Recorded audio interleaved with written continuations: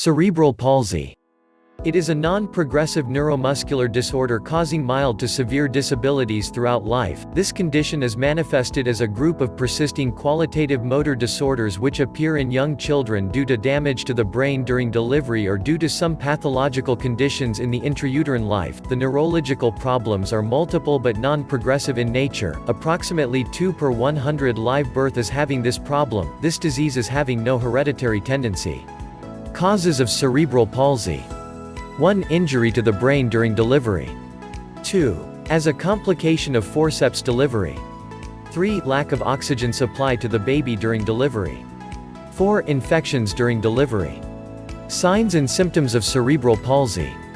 The signs and symptoms may not be similar in all babies affected, depending upon the damage to the brain there may be mild to severe lesions. Mild cases, 20% children will have mild disability.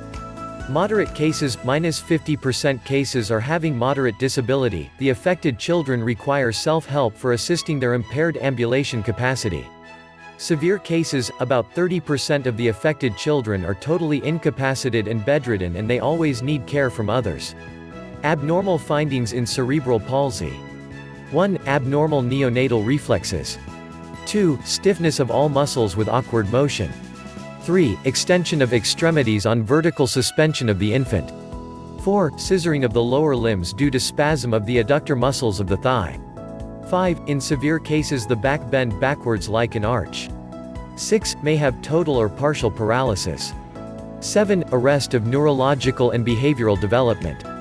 8. Swallowing may be difficult in some cases. 9. Drooling of saliva. 10. Mild to severe mental retardations. 11. Abnormal movements are seen in some cases. 12. Tremors with typical movements. 13. If cerebellum is affected there will be loss of muscle tone with difficulty in walking. 14. Complete or partial loss of hearing. 15. Speech may be affected. 16. Squint and other visual problems may be associated. 17. Convulsions may be seen in some children.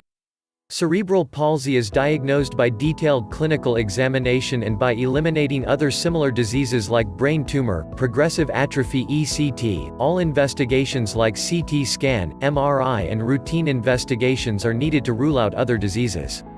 Management of cerebral palsy. General management.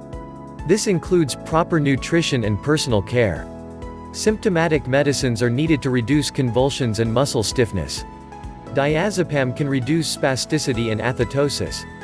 Dantrolene sodium helps to relax skeletal muscles. Physiotherapy.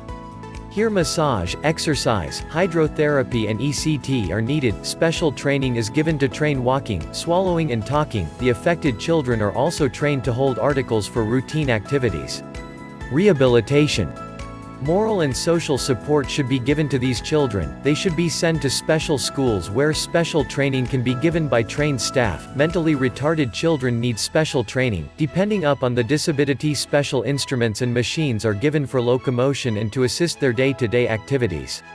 Occupational therapy. This is given by occupational therapists, they train the disabled people to do some suitable work so that these people can have their own income. If you find this video helpful, then give us a like. Leave a comments. And click subscribe bell bottom, to get updated of our latest uploads. I'll see you on my next video soon.